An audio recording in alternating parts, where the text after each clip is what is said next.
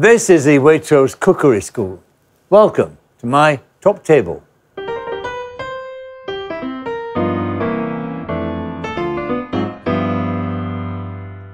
He grew up in a guest house in Skegness. He worked the beach as a donkey boy and is now in charge of a global restaurant empire. My guest is Jason Atherton. Jason, welcome. It's Thank you. stuff of dreams. It's Hollywood stuff. This story of yours, eh? Skeggy, Donkey Boy, all that. And now, how many projects have you got underway now?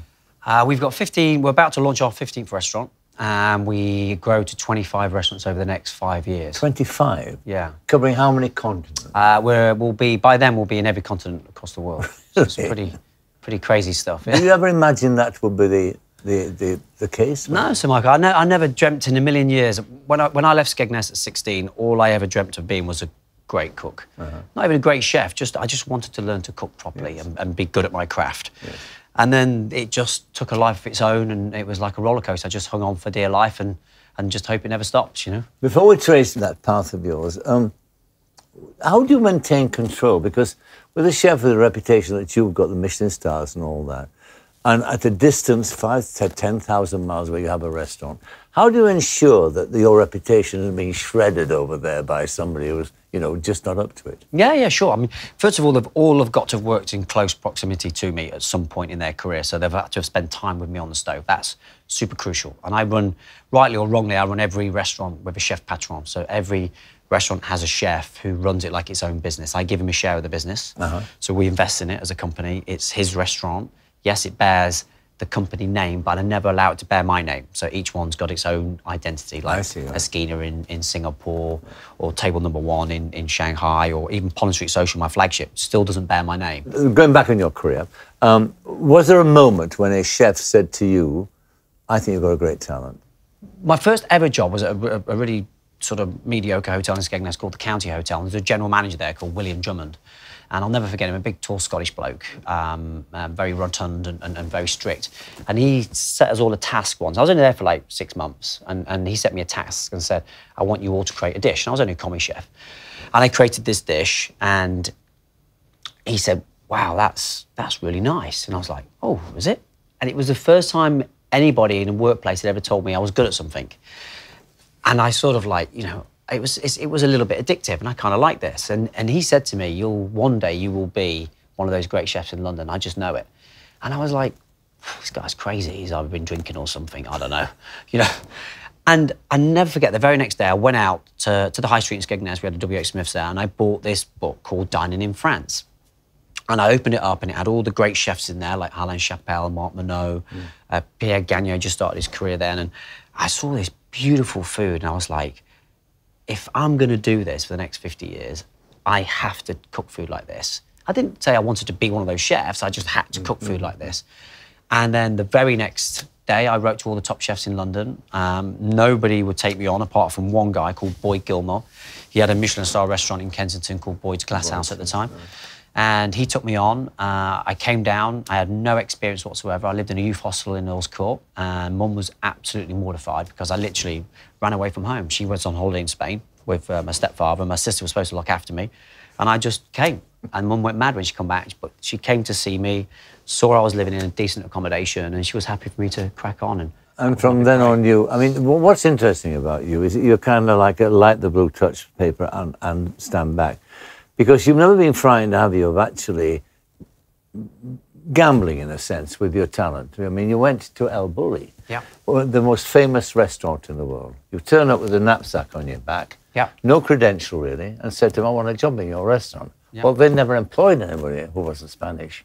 So what gave you the inclination that they were going to do anything with you except say, go away? well, he did try to tell me to go away quite a few times, but I, I was just. You know, if, if this guy's supposed to be the best chef in the world, the most talented, most creative, then I have to be next to him. You know, how can I get next to him? How can I just feed off this guy? I wouldn't say no for an answer, and I just said, you know, I, I, I finished my, with my girlfriend at the time. I dumped my girlfriend. I, I packed my bag, and off I went. And I got to Spain, and I, I got on the bus, the the 24-hour bus, what takes you to Barcelona, and then I, I got to Rosas on another bus. Couldn't get any accommodation. I slept on the beach. I then went up up up uh, Joy, up the, the little mountain range, and got to the restaurant door. And I said, "Look, you know, chef, I'll, I'll, I'll do anything. You know, I'll wash the pots. You know, I'll clean your shoes. I'll do anything. I just want to work here. And he said, look, you know, we just don't take people who don't speak Spanish because you know, in the heat of the kitchen, it goes to Catalan first of all. And he said, we just don't have time to, to, to wait for you to pick up Spanish. I said, look, chef, I promise you, I'll do anything. And he said, after about half an hour of this begging, he said, okay, look, we'll let you stay for a month. If it works out, you can stay for the season. If it doesn't, then you've, you've just got to go. And, and, and he said, okay. I said, I'll give it. I, I really appreciate it. Started work the next day, and I, you know, I'm not being egotistical, but I'm really quick in the kitchen, you know. So it's like, you know, these, there were these other Spanish guys opening scallops, and they were a lot slower than me. So I was like steaming through the work, and and he was like, "This guy's great. You know, he's getting all this preparation done for us, and he's not costing us a single penny, and all they've got to do is feed me twice a day." And and it was just the best experience of my life. And you was- became friends, didn't you? yeah, yeah, we're great friends this very day. So, you know, we're going on a bit of a world tour together for his new cookbook coming out. So, we're going to help him launch that and promote it. And he writes all the forwards for my cookbooks. And he's a big supporter of mine. So, I'm very, uh, very honoured to be one of his disciples. And, and I mean, you worked, so you worked some very great chefs. I mean, innovative chefs. Marco Pierre White. Yep. I mean, he was an extraordinary. I think, back to what he created. Yeah, I still In a have sense, he was nightmares. one of the first ones. I still have nightmares. he was tough, yeah, because cooking in, in back in sort of like the 80s and the 90s when he was at his peak in this country was un, unregulated. Do you know I mean? It was like, it was just a bunch of British guys. You know, everybody in his kitchen was British and everyone was fighting to be the next Marco Pierre White. And it was literally like Vietnam. It was crazy. I mean, you know, we worked from six in the morning till one o'clock the next. You'd stay behind, you'd polish the stoves, polish the copper pans, anything to get ahead, you know? And it was just the best kitchen in the, in the country, if not Europe at the time. And It mm. was really mm. tough, but he was such a phenomenal talent. I still say to this day, Sir Michael, that watching him cook, he was almost like a tortured genius because he, he was just so good at what he did. But I don't think he even realised how good he was. Hmm. Cooking for him was just a natural ability he had, but he was just completely bonkers. but then you moved from one war, zone to another. Gordon Ramsay. yes, I did. Yeah, I you, was- you're, are you rather sick of a punishment? I just want to make sure I learn, my, learn, learn, learn, learn the, through the hard knocks, you know. So I was, he was, yeah, but, Britain had never seen anybody like Gordon before, you know. Gordon, Gordon had the whole package. Not only was he a great chef and learned from some of the great French masters like Jean Robuchon and Guy Savoy, and, and the Roux brothers, he was also great on TV. He was a, he was media savvy. Absolutely. He, he you know he could he could charm the pants off a, a thousand ladies. In, in, in, you know, and he was just like the ultimate alpha male, I suppose. Really, Yes. he, he had he walked in, you could he oozed confidence when he Yeah, walked into the presence, kitchen, and the charisma. president. He's just yeah, he's just a mm. fascinating guy. then onto your own restaurant. Yeah, That had always been the aim, one assumes. That was what you always wanted. yeah, Sir Michael. I mean, I mean, I. Do you know what? I know. I, I never had any. I never sat and wrote it down and said I want to win my Michelin star, or it was only ever about being a great cook. That was the most important thing for me. I, I, I just.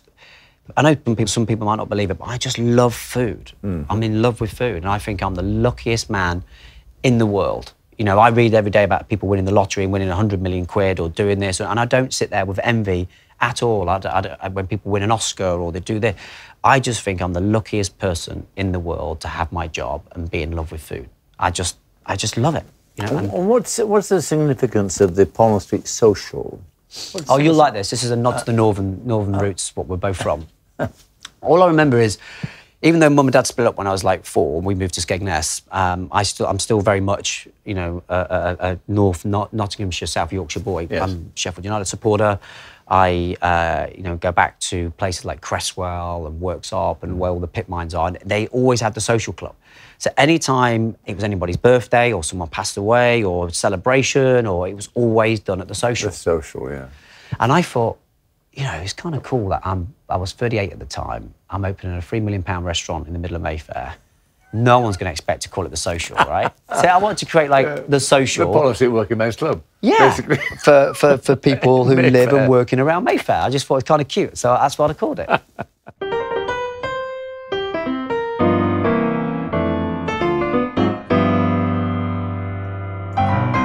So, Jason, this is your version of the traditional sort of uh, sardine on toast, right? Yep. And this, there's a story behind it. There's a reason why you're doing this. What is it? So, So basically, what it, what it is, Sir Michael, is, is um, my stepfather, who was. Do you want to just peel them off for me? Give them a little Sure, peel. Just, absolutely. Just give me a little peel. My, my, my stepfather was like the worst cook ever. You know, so when my when mum and dad split up when I was about four, mum took us on holiday to Skegness and we never came back.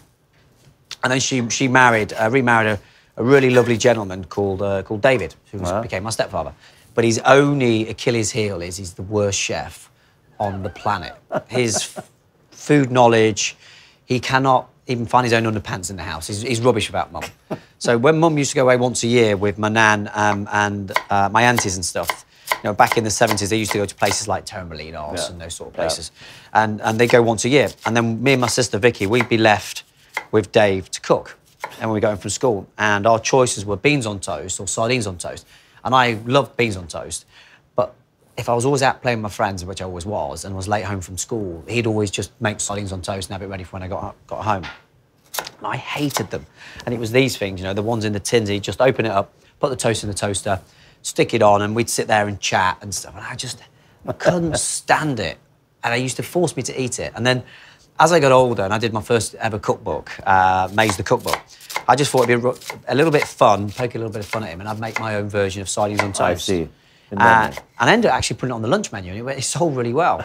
So this dish was sort of my homage to him. It's and dedicated to him. yeah, and, and, nice and story. Basically, what we're going to do now is make a little compote. So Uh-huh. we're going to use the sardines inside that with the tomato sauce. Yep. Some red onion. You can use normal onions. It's completely fine. A little bit of olive oil, and then we're just going to make it like a what we call a compote, or and as we say up north, a bit of a mash. Mash, Yeah.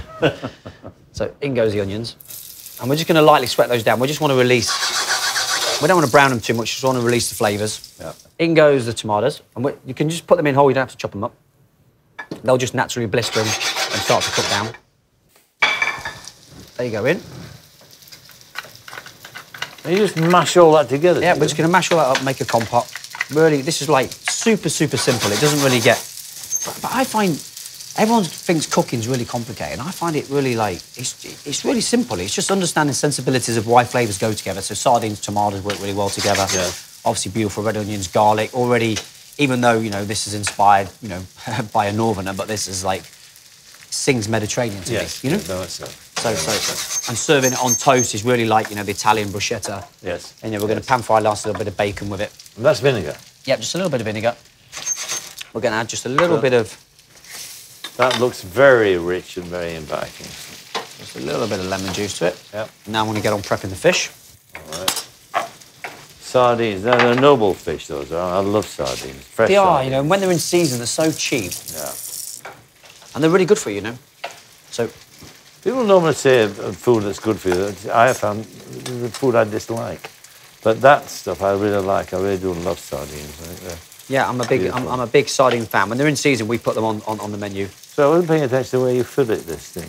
Just Well, I find them, they're really difficult to fillet and get Yeah. all the bones out. So you Yeah. can take that one off pretty clean, you can see, Yeah. and all the bones come off it with it. And then you're left with this bone here.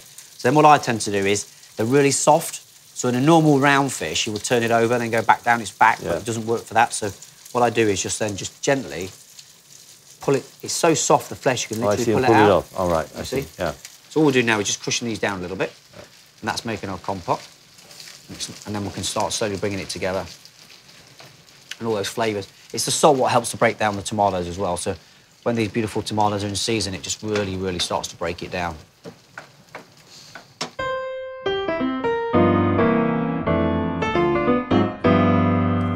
Is that sufficient? So, that? yeah, that's perfect, so Michael. Good, Yeah, yeah, So. I'll give you a job. Thank you. For this need- inter- if, if you don't get very good at this interview and stuff, I'll give you a job. Thank you. So right, so that's on there. Now we're going to grill the sardines, and then we'll do the bacon last, and then we are pretty much ready to go. We're just going to lay them in straight. And with sardines, I only cook them on one side down, so I just get the skin All nice right. and crispy. I don't turn them over. So people panic when fish sticks to a pan, right? If it sticks, like this is sticking a tiny bit, you always just wait, wait till it, and as it comes really nice and crispy, it'll just release itself. All right. Well, I hope so.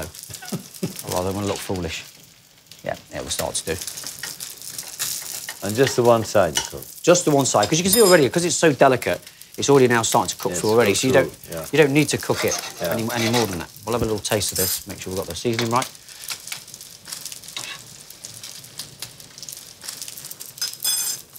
Good. Very good. A bit more lemon juice. Little lifter.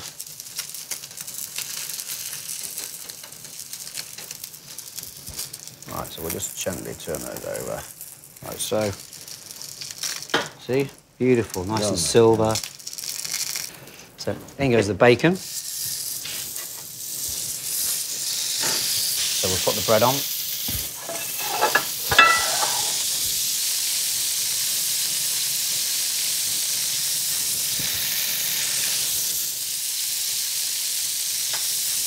Then a nice little spoonful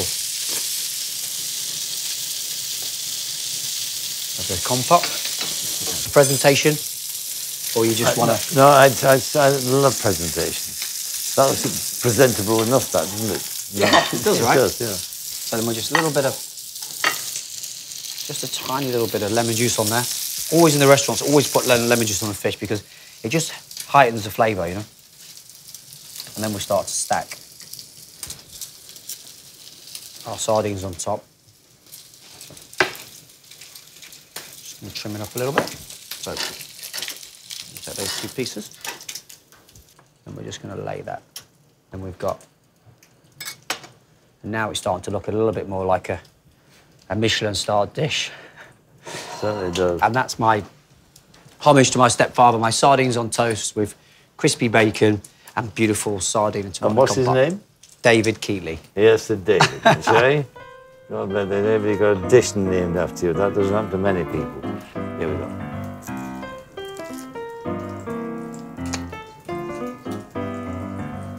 So, Michael, mm-hmm. It could ruin my career, mouth like this. is that good? Mm, beautiful. A multiplicity of tastes.